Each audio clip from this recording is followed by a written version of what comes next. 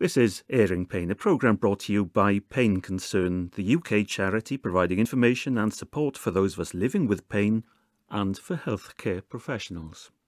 I'm Paul Evans, and this edition's been funded by a grant from the D'Oyly Carte Charitable Trust. Some of the greatest biodiversity in the country is actually in the city. About a third of London is covered in green space. A lot of those green spaces are filled with trees, they're filled with hedgerows, they're filled with ponds, they're filled with lakes. Some of our national parks and some of our best natural spaces that we have, you could say, have a lot lower biodiversity value than some of the spaces within a city. You know, it's really important to have both and a, and a wide range of different species, but there is so much value in urban ecology.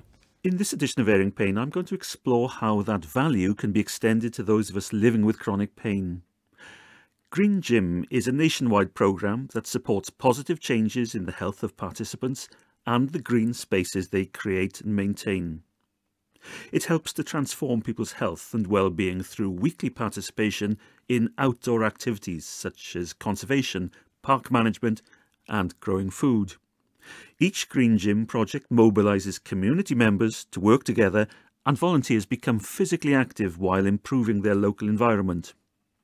Craig Lister is the Managing Director of Green Gym. The Green Gym is effectively the outdoor world. It's specifically not equipment you see in parks, we don't do that. I'm a exercise physiologist by trade and I have a particular interest in uh, evolution, how we evolved. And we evolved in the outdoor world for the vast majority of our lifespan, so two or three hundred thousand years, uh, depending on which research you look at. And we became perfectly attuned to living in the outdoors. And so muscle is what we call an endocrine organ. It releases different hormones in response to physical activity, temperature changes. We typically function during the day, so the amount of light in our eyes changes brain chemistry and other chemistry. And actually, we became so good at living in the outdoor world, uh, amongst all of the species that there are, that we became the world's dominant species. So clearly, we were really, really good at that. And Green Gym really seeks to take us back into that environment, which is the outdoor world, working in groups because we're a pack animal and we, we like to work in groups.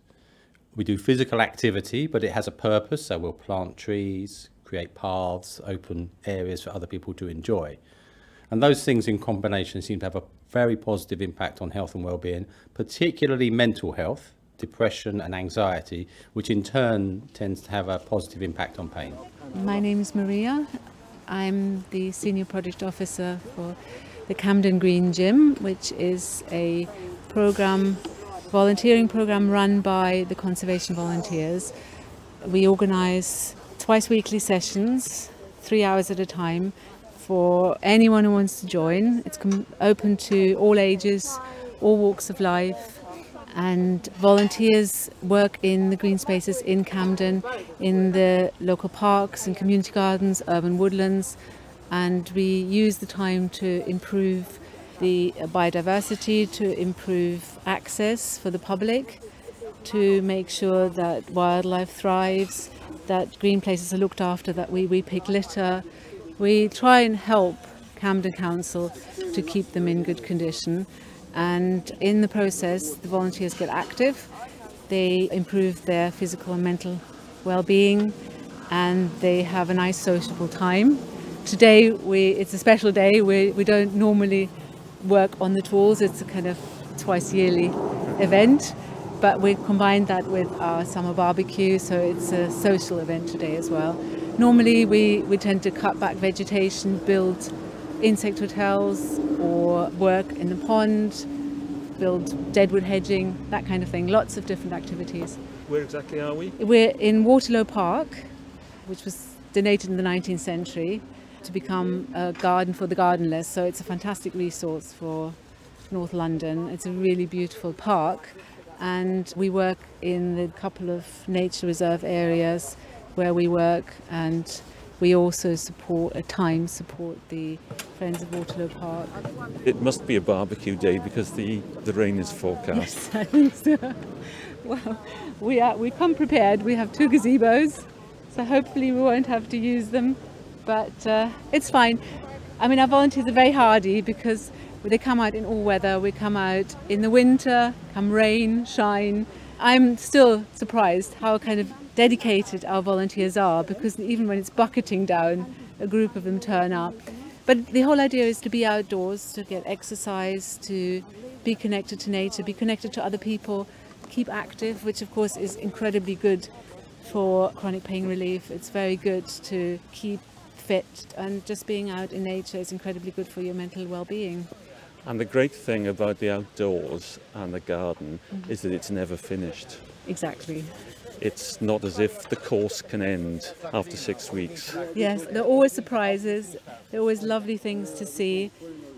Uh, it's nice for the volunteers to see the kind of work they've achieved and also to see the wildlife, to see the birds, the insects, and, and see the flowers and experience the seasons, which is really important, I think, especially for people living in cities, often if they don't have gardens themselves. It just really enhances people's well being. My research degree was on community based interventions for chronic low back pain. And there are a number of measures for that. But what I found as a physiologist, which was surprising to me in my early years as a physiologist was that a questionnaire called the Fear Avoidance Belief Questionnaire was a better predictor of pain. And that is a psychological questionnaire, and that means um, I'm not going to do something because I'm fearful it will hurt me. I don't do it, I become less active, I'm less able to support my spine, I'm more likely to feel pain as jar, and it becomes this self fulfilling prophecy. Obviously, there's more to it than that, but in simple terms, that's it. Whereas my research, and in fact Green Gym very similar, we get people to do things that are intrinsically interesting and in a group. And so for an amount of time, they forget about the pain, if you like. And sometimes that's referred to as the distraction hypothesis. So I'm doing something else that is attracting most of my conscious attention. And then you can reflect back on what you've done. And other people say, what a good job you've done. And in fact, when we were working in London this Saturday, other members of the public were coming to say, what are you doing? Thanks for doing that. And so people think, well, actually, do you know what? I have done something. I do feel better about myself because of that. But actually, at the same time, because we operate in a free environment, digging, cutting, whatever it may be, we're building muscle strength and muscle control that protects people from pain in the future. My name's Rosie Broadley. And you have chronic pain? I have chronic pain on a daily basis.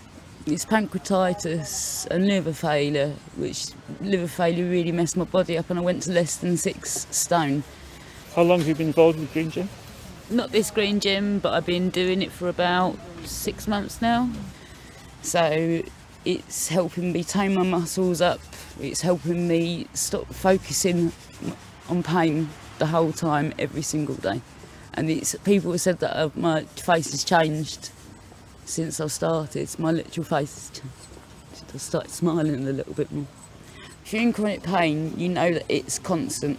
It's there with you the only way that you can get your head away with it is to do something else, take your mind off of it. And gardening really, really does help. I thought I sorted out so many problems whilst I'm cutting the hazel bushes. It's absolutely, un- I feel like I've had a full blown conversation in my head, right? And that, that is, is helping now. Otherwise, I'd just be sitting at home watching TV with my dog, and I would be probably doubled over this should be given to the doctors. It should be prescribed by the doctors. But six months ago, if a doctor had said to you, I think you should go gardening, what would you have said? I just said I wouldn't be able to do it. No, these, I don't know these people. What am I supposed to do? I'll be all embarrassed. I'll be all like. But now it's like water off a duck's back.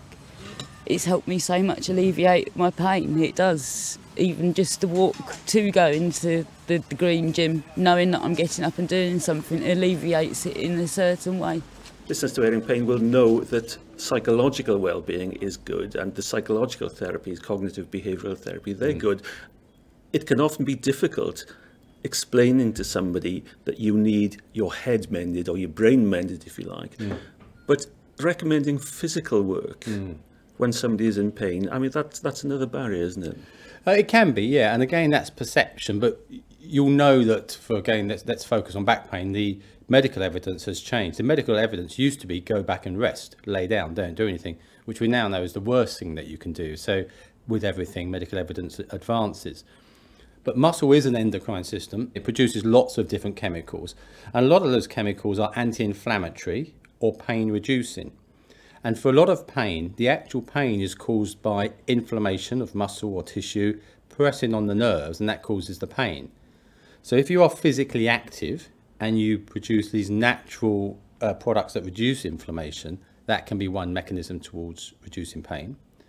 And then the other one, or another one, is increasing stability in all your muscles. So people talk about core stabilization.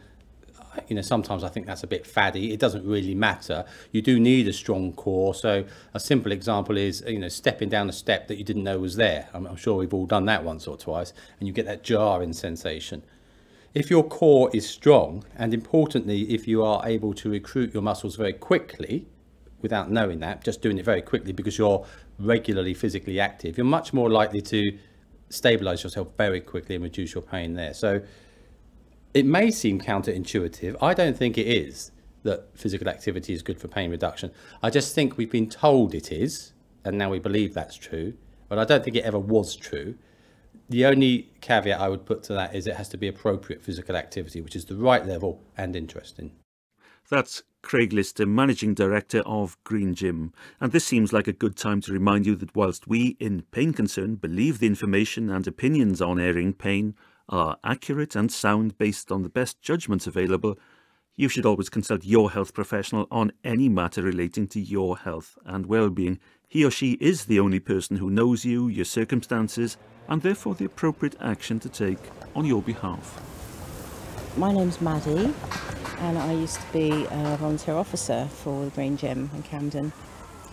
I was a VO for two years when I had a period of illness and um, it helped me get back on my feet and gave me confidence and um, I then left a year ago and went on to work um, somewhere else, paid work. So, I mean, it's been incredibly helpful for me. In what way? I had depression and anxiety and um, so it really wrecks your confidence and you get taught here to like lead groups um, to do the warm up, the warm down, the tools talk, and it helped me gain confidence basically because I was looking after 15 volunteers. And being outside is just incredible and, and uh, it's definitely true. You feel more connected if you're working with nature. And I do feel very passionately about environmental um, concerns. Just explain to me how it helps depression and anxiety. First of all, you're working with other people, and they may also be people who have depression and anxiety. So it's not anything like, oh God, you know, you're mentally ill. It's, there's none of that. It's just like everyone mucks in together. And, and then there's also having the connection with nature and using your hands, digging and planting wild meadows and um, looking after the habitats um, that we encounter. It made me feel very peaceful and my anxiety levels went right down. It's a really lovely thing to do. Also, if you just don't really know if you want to change of career and you think I need to have some time and, and sort of do this and I've seen a lot of people come through the Green Gym who've decided that they want to change their careers and they weren't sure what to do and then they do go into um, like environmental charities or gardening even in the NHS and public health, there's a, there's a phrase which is no health without mental health. So I could be apparently well, apparently without disease, but really in quite a poor place. And in fact, if you look at the World Health Organization's acceptance of health and well-being, it's a state of complete health and well-being. And and certainly, I know many people, perhaps including my my father, who has Parkinson's, who is otherwise reasonably well, but sometimes you know, can be challenged. And he has processes to overcome that. And in fact, he's a volunteer at Hampton Court Palace, and he'll tell you that distraction of being a valued member of the staff at Hampton Court Palace and taking tours is much better at reducing his perception of pain than his meds are.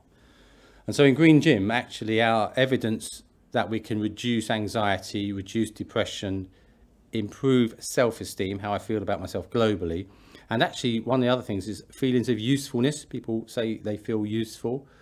All of those things seem to have a very strong mental impact. So now I'm more likely to be physically active. I'm more confident that it's safe for me to do that. I want to be part of the group as well. So Green Gym is a group activity. We're group animals. Um, in public health, if we're going to inoculate people, we actually refer to herd immunity. So you're a herd. And that recognises the impact. And we know that when people come together to achieve things, there's a change to uh, brain chemistry. So you might see changes in dopamine, which can have a positive effect on, on how you interpret pain signals.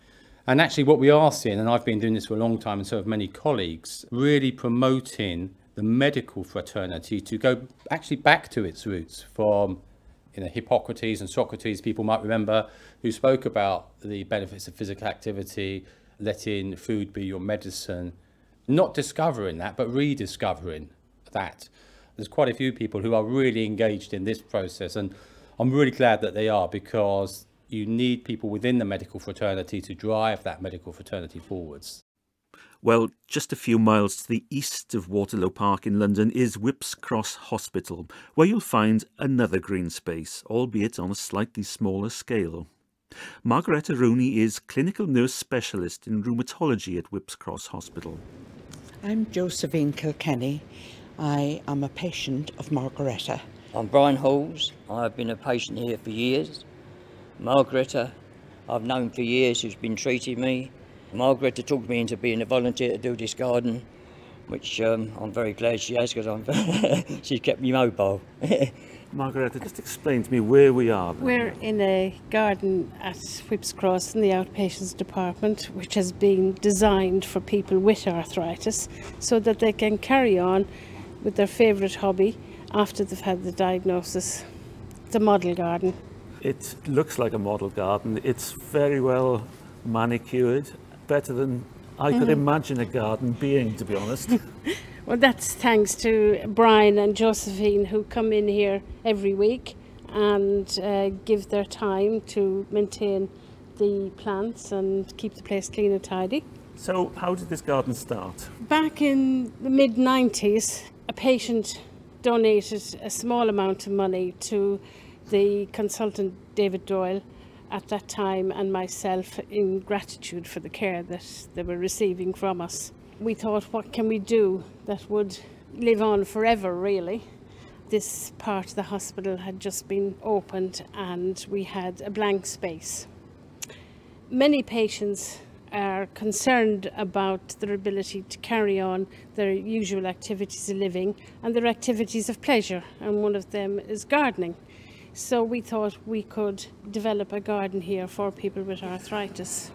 Brian, tell me how you got involved in the first place then. I was walking down Snakes Lane West and a young lady called Margaretta stopped me and said, would you come and put some bulbs into the garden? She says, I have another young lady that's volunteered called Josephine. Would you meet up together? Which we did do. And for 15 years, what we've been doing, the garden.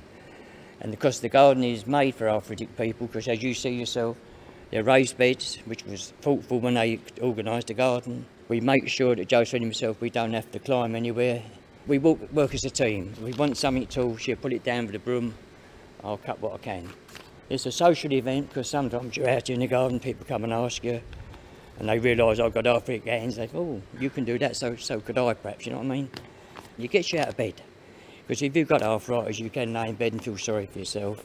And you get up, you get yourself motivated, and, uh, and so it's been going ever since. And Josephine, how did you get involved? I had chronic arthritis. I was about 49, 50, and I also suffered with a bit of depression. And Margaretta one day, she said to me, right, I want you to take a new interest. And you, oh, she didn't want me, she encouraged me. And it was the best thing ever happened me. It took my mind off the pain. It was giving back to the hospital. It was therapeutic. It got me up and dressed in the morning, not sitting at home, as Brian says, worrying about pain. And Brian and I have been great partners. We're like friends now. I'm like the second wife, I suppose. Number three. Yeah, but Margaretta played a vital role in this for me. She went over the white line. And it's a wonderful department here, the rheumatology. It's excellent. You have arthritis. Yes. And you suffered from depression as, yes, as well. I did. Did the two go together? Well, I was working in a very happy job. I was in catering I suppose it did a little bit, but the arthritis was very bad. It, happened quite suddenly at work, and I think it all got me down in a black hole, and it really helped me. it was better than medication as far I got medication and I've got much better now with modern medication. But the gardening played a vital role. I was learning a new skill. Catering was quite stressful, I suppose, in Wales. I loved it. And friendship. And people came out here socially. They would come and have a little banter with us. And all those things make you feel good. Money isn't everything. I find it so important to be thankful to our national health. And our rheumatology team played this vital role. Margaretta was there for me. And I cannot thank the hospital and Margaretta for all this, and Brian, my gardening partner. He's played a vital role.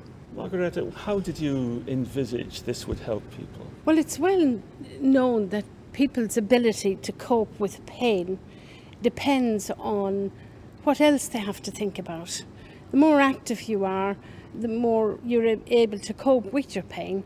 Getting a diagnosis of arthritis is the first thing. It can be devastating. Patients in the beginning are in a lot of pain and discomfort and distress, and the aim is to get patients out of pain quickly, which we do. And now, with the advent of all the new treatments for arthritis, we give these treatments very early on so they don't have the terrible outcomes that they had 20, 30 years ago. However, many patients expect us to be able to give them a pill or an injection to help, you know, and to take the pain away. But that isn't always possible. Some people expect medicine to help with every pain and ache, but it's not like that. So if you accept that this is a condition you've got, whatever rheumatological condition you may have, then you have to work within the limits of that. The aim of my role as a, as a clinical nurse specialist the doctor makes the diagnosis and prescribes the treatments. My role as a nurse is to help the patient to understand the diagnosis, to understand the treatment, and to manage their activities of living as if they didn't have arthritis. So they have to make some adjustments, but not all the time.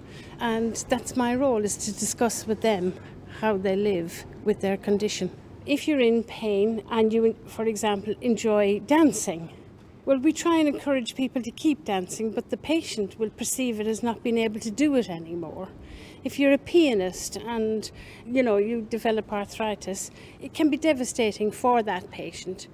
People who garden always think of the heavy digging, you know, the mowing the grass, the pruning, all that. But this is an example of a garden where you can maintain and manage easily. And that was what we put into the design. If you want to, you can sit as you do your weeding because of the way the raised beds are. There's no grass, but the patio looks very nice. You know, the area is quite calm and comforting and relaxing. There are lots of papers that have been uh, written about gardening and arthritis. Arthritis Research UK have a very nice leaflet, and I've got one of them for you to take away with you that talks about gardening and arthritis and how they tips on how to manage their gardening. You know, it's good therapy for any of us, even okay. if we haven't got pain or arthritis or fibromyalgia or any of the rheumatological conditions. If you can get out in the fresh air, it's always good. Indeed it is. That's clinical nurse specialist in rheumatology at Whipps Cross Hospital, Margaretta Rooney. And Margaretta's keen to find the next generation of volunteers to carry on with the upkeep and development of the garden. Get in touch with her at Whipps Cross Hospital Rheumatology Department or us at Pain Concern and we'll put you in touch with Margaretta. And that gardening and arthritis booklet she mentioned can be ordered or downloaded from the Arthritis Research UK website. And their address is Arthritis Research UK, no gaps, arthritisresearchuk.org. Now, back to the Green Gym. Chris Speirs works with the Conservation Volunteers organisation developing green gyms across the UK. Check out their website, which is tcv.org.uk slash greengym. Once again, tcv.org.uk slash greengym. And you can find out if there's one near you. And if not... We're here to support anyone, whether that's an individual, an organisation, a small community group, to enjoy the benefits of, of, Green Gym. So we would be very keen to help. So there's a our email address is greengym at tcv.org.uk and that's the conservationvolunteers.org.uk. If you were to get in touch, we'd be happy to support you to set up a group lo- locally, you know, make those health referral links. We have a Green Gym leadership program which we offer out to other organisations, community groups to be able to support them to take on and, and run Green Gym to the same you know standard that we run elsewhere across the UK. And we're working with communities and organisations all the time to do that. Um, in the UK, over 40 of the Green Gym groups that are running presently are completely independent to TCV. So many of them were established by us but they're run by volunteers or people from the community that come together, meet once a week, and they very much have the ownership to take their green gym and, and take that forward. And they do everything from the fundraising to managing the projects to looking after those spaces to buying the tools to you know managing the first aid and everything else that needs to be done on the day. You mentioned the word referral. What do you mean by referral? Who are the referrers? We talk uh, sometimes about self referral and referral. I mean, self referral would be if someone heard about the program and took a decision to come along, as I did for the, the kind of health benefits of, of coming and participating, rather than being signposted by a health practitioner. Um, so, in order to reach a wider audience and a more diverse audience, we have for about 20 years been working very closely to proactively engage health referral partners. We work with GPs, physiotherapists, a, a, wide range of different health professionals, uh, not only from, you know, maybe within services within the local authority, but other charities such as Mind, such as Rethink, with people who, who might be coming out of prison looking to be rehabilitated. So really a huge range. So it's a very mainstream program and, and very much open to anyone to join. And we look to run the program to have a range of activities to make it accessible for everyone. Chris Speirs. Once again, the Green Gym website is tcv.org.uk slash greengym. And don't forget to contact Margaretta Rooney at Whipps Cross Hospital Rheumatology Department if you can help support their garden, or contact us at Pain Concern. Our website is painconcern.org.uk. Contact us there and we'll pass on your details to Margaretta. Don't forget that you can download all editions and transcripts of Airing Pain from Pain Concern's website. Once again, it's painconcern.org.uk. And there you'll find information and support for those of us living with chronic pain, our families and carers, and, of course, for healthcare professionals. There's also information on how to order Pain Concerns magazine, Pain Matters. Now, we at Pain Concern need your help. Like all charities, we rely on the generosity of individuals and funding bodies to keep us going. Don't worry, I'm not asking you to make a donation on our Just Giving page although you're very welcome to do so and we would never turn it down. But in order to carry on making these airing pain programs into the future, we really need to know that what we're doing is of benefit to people living with chronic pain, your family members and supporters, and for healthcare professionals. And this is really important for us. How do the programs we make help you help your patients? So for everybody listening, we really need your feedback. Has listening to Airing Pain improved your day to day living, and if so, in what way? Have the programmes helped you manage your pain? How? And, in a broader sense, has living with chronic pain or with a family member who has chronic pain become more manageable? And I can't emphasise too much how important it is that we also get feedback from healthcare professionals on how these programmes help you to help your patients. So do please go on to the Pain Concern website and click on the feedback button to take part in our short survey. Have your say. Without your views, we won't know what we're doing well and what needs improving. OK, I look forward to your feedback. Now, back to the Green Gym, and Rosie Broadley will end this edition of Airing Pain. My life has changed completely. I know it sounds absolutely ridiculous. There is hope out there. It, there is. There really, really is. And I've got somewhere to go. Even if I don't get up and do it, I have got somewhere to go. And September, I start college for a whole year, Regent's Park, to get my landscape degree. One, and this has all happened since six months since meeting, meeting Green Gym. So life has changed completely. Thank you very much.